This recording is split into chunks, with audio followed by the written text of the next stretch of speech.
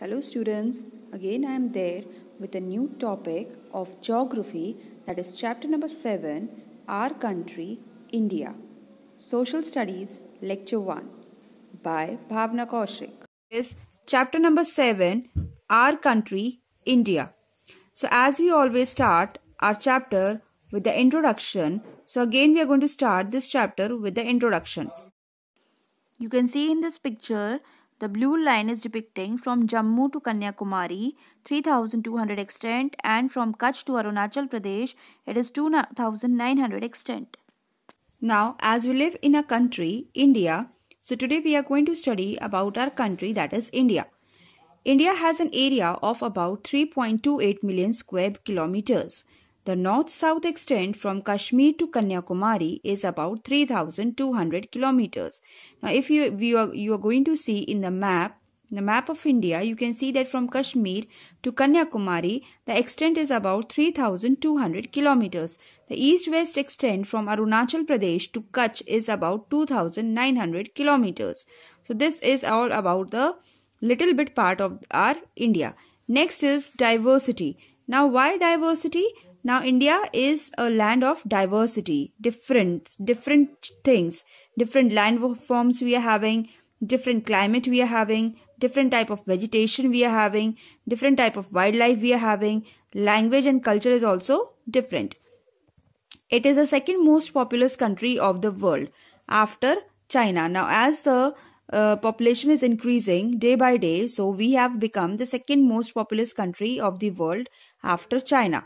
India is located above the equator and lies in the northern hemisphere.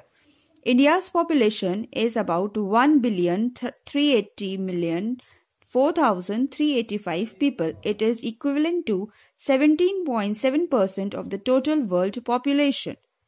Now as we have neighbors who live next to us, we, India is also having certain neighboring countries.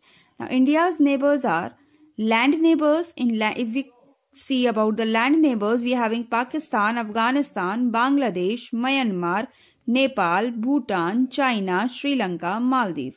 These are all the neighbor, neighboring countries of India. If we talk about the landlocked countries, now landlocked countries are those countries who are almost locked from almost all the sides and they are not having the place for the sea route to come and go. Island neighbors also we are having like we are having Sri Lanka, we are having Maldives, then the Palk Strait. Now Sri Lanka is joined with India with a strait which is known as Palk Strait. Political political and administrative divisions. India is a vast country and the political division of India is in this way. Like it is having 28 states, 8 union territories and Delhi is the national capital. The largest state is Rajasthan and the smallest state is Goa. Now, as we are having almost 28 states, we are having 8 union territories and among 8 union territories, Delhi is also there so, and Delhi is the one who shares the same capital also. Largest state is Rajasthan and smallest state is Goa. Now, as India is a very vast country, it is a very big country, so it is further divided into the center, state and district. And further on, these uh, state are having the ministers who are having the state ministers, chief ministers, who control over the state affairs okay and we are having the union level the central government level who is controlling the whole country. Then at the district level also we are having small small officers who are controlling the things. Now physically if we talk about physically then physical versus political. Politically we have studied about over here about the states and union territories. In physical we are going to study about diversity of physical division like how the india is divided physically like we are having mountains, we are having plateaus, plains, coastal plains and island.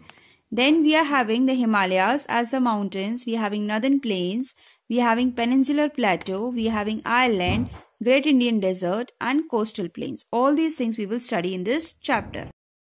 Read the chapter, read the topics, by the time stay home and take care. Thank